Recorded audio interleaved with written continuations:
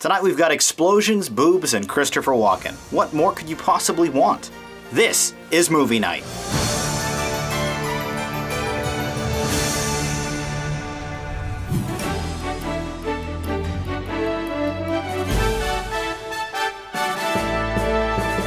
Hello and welcome to Movie Night, YouTube's number one movie review show. I'm your host, Jonathan Paula. Tonight, in another one of our unscheduled summer episodes, we'll be reviewing two recent sequels to films we reviewed back in Season 2. I'll also be announcing a new companion review series airing on the Movie Night Archive channel. But first, let's begin tonight's show with a review for Expendables 2. Released worldwide last week, writer and star Sylvester Stallone has once again amassed the greatest group of bygone Hollywood action legends for one massively explosive and over-the-top violence fest. Under the new and steadier direction of Simon West, this sequel thankfully cuts back on the extreme close-up shaky cam techniques of its predecessor, allowing the viewer to appreciate and follow the mindless gore on screen much easier. From the get-go, we're immediately treated to a gloriously ridiculous cold open sequence lasting 15 minutes that has the awesome group of badasses rescuing some hostages by car, motorcycle, jet ski, and seaplane, using everything in their arsenal from rocket launchers, sniper rifles, frying pans, and a 50 caliber machine gun to accomplish this messy task. Although none of them are really developed to any significant satisfaction, the all-star cast led by Stallone includes Jason Statham, Jet Li, Dolph Lundgren, Terry Crews, Randy Couture, Bruce Willis, and in his return to acting after governing California for the past eight years, Arnold Schwarzenegger, who filmed his limited role in only five days.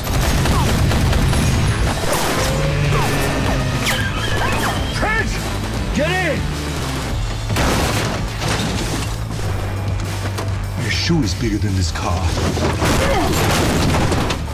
Shoot something!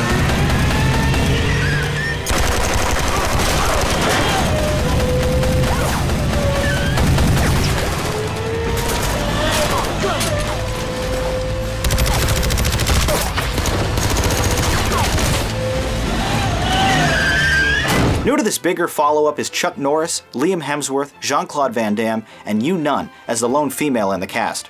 The plot here is an overly simple and inconsequential one.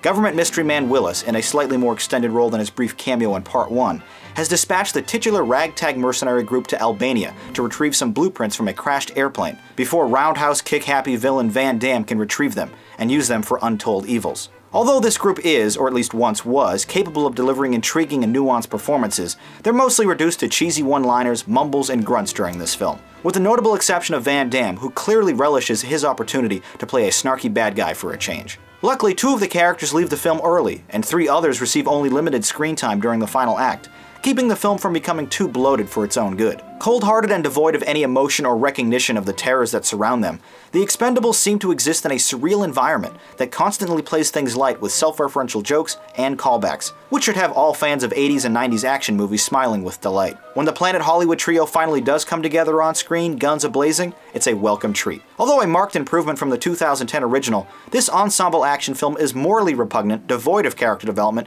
hastily paced, and poorly written. But despite all this, it's still damn fun entertainment for 103 minutes. Stallone and JCVD punctuate the mayhem with a well-choreographed one-on-one fist, chain, and knife fight that serves as the icing on this delicious, if incredibly sloppy cake. The Expendables 2.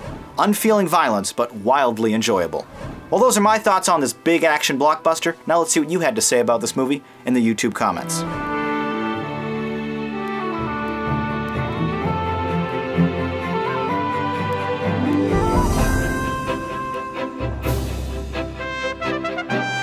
Here's the Ratomatic to highlight our scores for The Expendables 2. A double 7. You recognize this film's flaws and shortcomings, but still enjoyed the big budget action and high profile cast, rating this movie a cool. When I reviewed Expendables 1 here on Movie Night in 2010, I scored it a 7 as well, which in hindsight was perhaps a bit too generous, as this sequel is unquestionably better, even though the score doesn't actually reflect that. For all intents and purposes, this isn't actually an interesting or well-made motion picture, but it understands its audience and swings for the lowbrow fences, delivering fun thrills only the detached violence from a video game can replicate. I thought it was cool. Before we review tonight's second film, let's check out some upcoming films with a new feature I'm launching, trailer reviews and commentaries.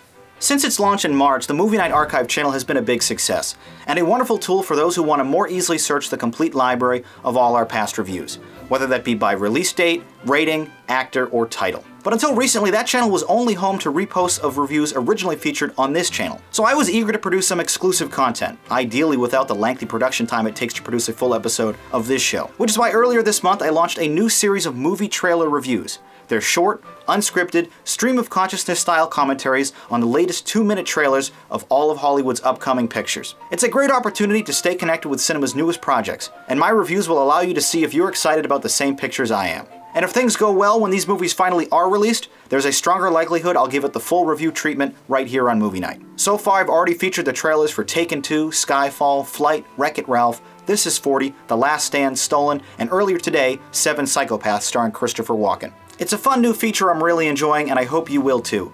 So head over to youtube.com slash movie night to check it out. And don't forget to subscribe if you like the content. Now let's discuss Piranha 3 Double D. Released on June 1st, 2012 in 3D, this poorly conceived but ultimately inevitable follow-up to the 3D horror comedy film from 2010 was a massive critical and commercial disappointment, failing to earn back even a third of its meager $20 million budget. This goofy and embarrassing film is the first theatrical release for John Gulager, the former winner of Project Greenlight, a short-lived HBO reality TV show which sought to give amateur first-time filmmakers a chance to direct a feature. His inexperience clearly shows here, with the otherwise capable cast flailing around on screen with little motivation to even bother saving themselves from their own deaths.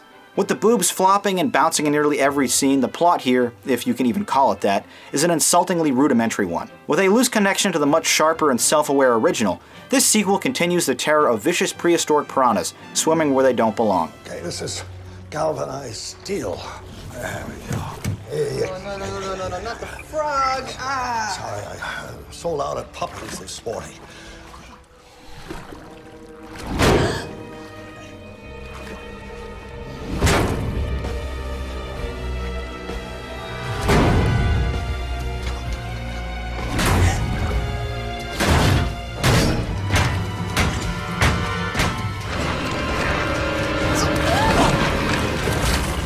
This time around, it's a brand new stripper themed water park, owned and operated by David Koechner, a smarmy misogynist who delivers some of the film's only amusing jokes, before being promptly dispatched by his own arrogance. Unlike the brash cleverness and tongue in cheek treatment of the first installment, this picture is never suspenseful, but instead approaches spoof levels of nonsense. One ridiculous sequence has two of the hapless meatbags attempting to outrun the scary flesh eating fish, not in a pool or a lake, but above water, on a dock. The characters are so brain dead and inept, they lack the intelligence to walk in a straight line, leave a car in park, or simply climb out of a 4 foot pool to safety. The cast features some lesser known but familiar faces, including Katrina Bowden, Matt Bush, Danielle Panabaker, and smaller cameo style appearances from Gary Busey, Christopher Lloyd, Ving Rhames, and in a hilarious over the top concept, David Hasselhoff as himself, whose fledgling career has forced him to attend the park's grand opening as a publicity stunt. The acting is static and exaggerated, but the abundant gratuitous nudity, bloody gore, and decent special effects thankfully keep things interesting long enough to keep the entire train wreck afloat. In one of the picture's most bizarrely stupid yet amusing scenes, one young hottie eagerly proclaims, Josh cut off his penis because something came out of my vagina.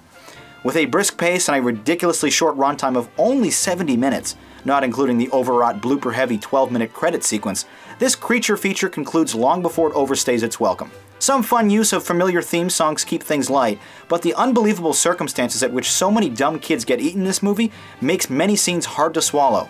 Pardon the pun. Poorly directed, childish, badly acted, anticlimactic, and downright insulting at times, this film is only redeemable ironically, with a number of laughs coming at the film's own expense. But plenty of carnage, nudity, and spoof-style humor somehow make this escapade in bad taste almost worth watching. Piranha 3 Double D, derivatively childish antics, fleeting fun.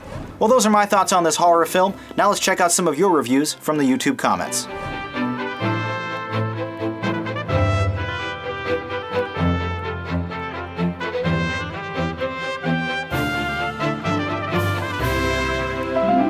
Here's the Ratomatic to score Piranha 3 Double D, a 4 and a 5.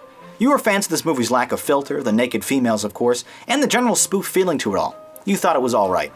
A fun guilty pleasure for sure, I was far less impressed by this feature than I was with 2010's original, which I scored a surprising 8 here on Movie Night. This sequel is not nearly as inventive or suspenseful. Couple that with the weaker story, acting, and dumber characters. and I thought it was just meh. It's time to check out your reviews of films currently playing in theaters, though, with some of your tweet critiques.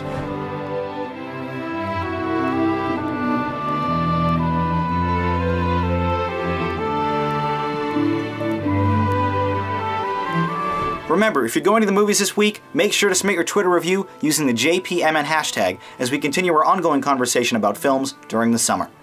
As a reminder, Movie Night will return with regularly scheduled full episodes every Friday night, beginning again in November. Until then, though, please check out the Movie Night Archive for an organized library of all our past reviews and the brand new movie trailer series. Once again, my name is Jonathan Paula. Thank you for watching Movie Night. I hope to see you right back here for the next episode.